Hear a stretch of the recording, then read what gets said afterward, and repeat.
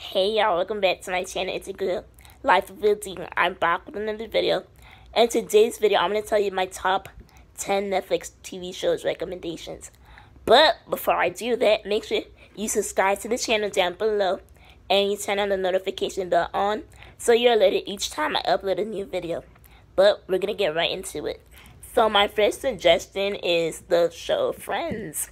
Honestly, if you haven't watched Friends, you should. So basically, Friends is about six friends that live in New York and they experience obstacles with each other and they have each other to rely and support.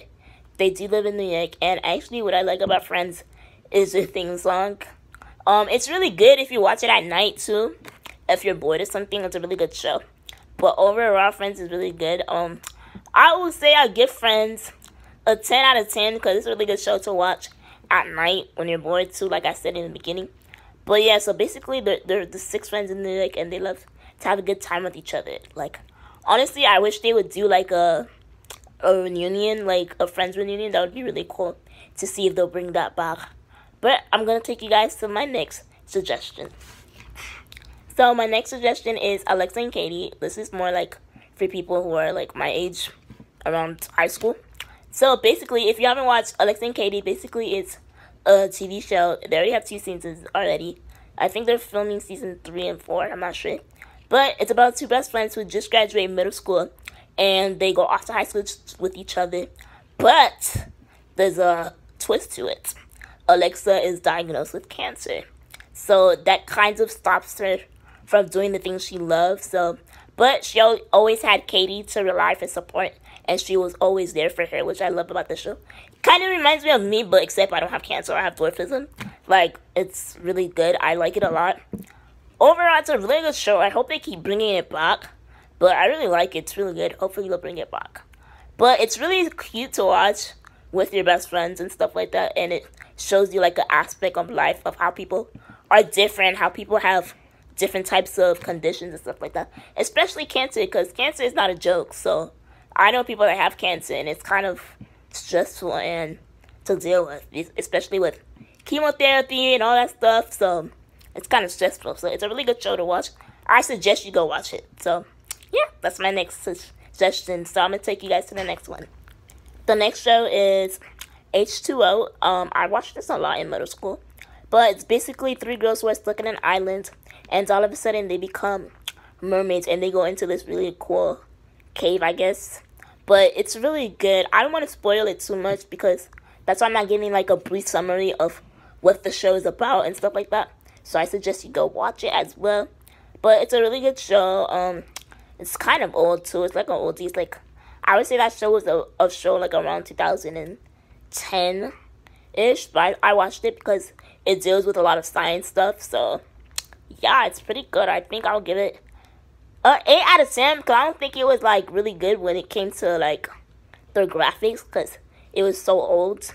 But overall, it's good. So it's on Netflix, so I suggest you go watch it. But I'm going to take you guys to my next TV show. My next TV show is Greenhouse Academy. I like the show a lot because like it deals with sci-fi stuff and it's kind of like a mystery, but Greenhouse Academy is a basically a private boarding school for students who are really smart and they have to compete with each other and they it's really cool. I really like it. It's kind of sciencey and stuff like that. It's I feel like season four was kind of more scary. I don't know, just that's just me. But it's a really good show. I suggest you go watch it as well. It's really nice, honestly. It's like sci-fi stuff. But honestly, it's really good if it's you're into it. Like I watch shows that I'm like it's a lot of science stuff, so it really all depends if you're into it. But they have really good actors on that show. So I, I, I would, if I were you, I would go watch that show for real. But I'm gonna take you guys to the next TV show. My next TV show is Vampire Diaries. It's actually one of my favorites. Um, I didn't watch the whole thing, like the whole season. Like the seasons are pretty long. I think I only watched up to seasons four, but it's a really good series you can watch, especially at nighttime. It's really good because it has that sort of suspense to it at night when you watch it. I used to watch it at night all the time. And actually, my cousin was the one who got me hooked to the show. So, yeah, so basically, Vampire Diaries it's about a girl named Elena, and she falls in love with the Salvatore brothers. It's pretty much a love story. nothing much to it, but they make it so interesting and long, and that's what I like about it.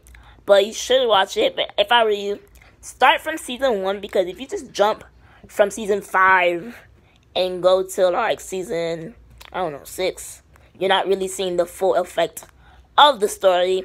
And you should watch it. It's really, really good. I highly suggest you watch it. Especially for people who's my age and people who are in high school like me.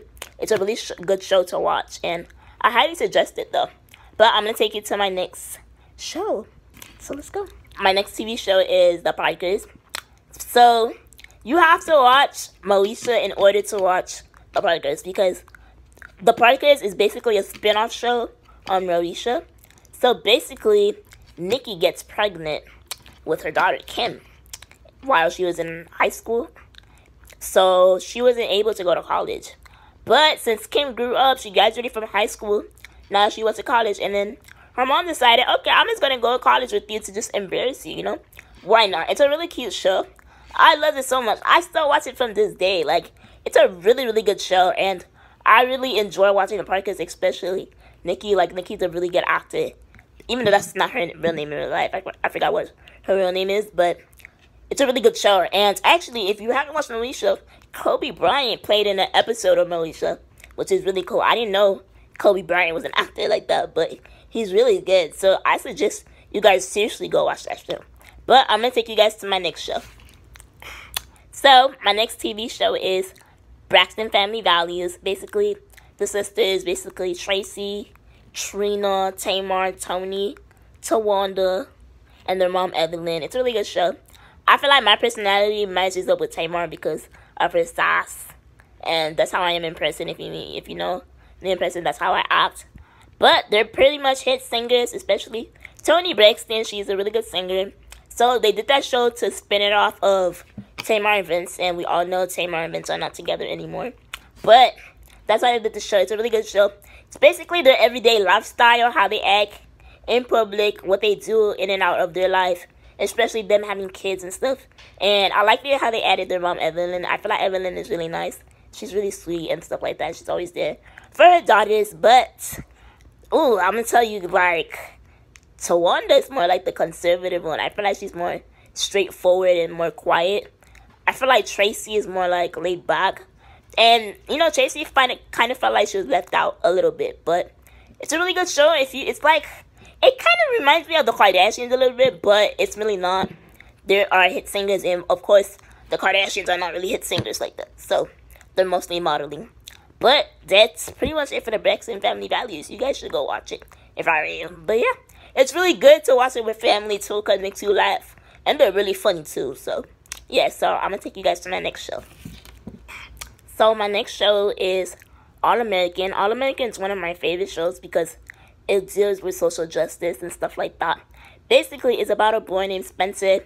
He was a student at Crenshaw High and got asked to go to Beverly Hills High to play football and pretty much he had to move with his coach because Billy because it was kind of too far for him to like drive up and down and stuff like that.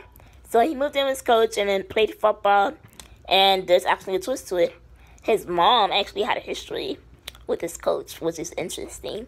You have to watch it, season one. It's very interesting. I mean, there's some some moments I feel like was shocking. I didn't know that was gonna happen. It's a really good show to watch, and I feel like it helps where they did it at at LA, especially where they did it, which is really cool. And that when the time of the filming, that's when Nipsey Hussle died and I liked it how they added like um a wall mural of Nipsey also, which is really cool. But I suggest you watch it. Um, they're actually filming right now for the new season. I hope it comes out soon. They have to stop filming because someone got like tested positive for COVID, which sucks, of course. But yeah, so you guys should go watch it. And I'm just waiting on the new season, to be honest. But I'm gonna take it to the so, next episode. My next TV show is all about the Washingtons.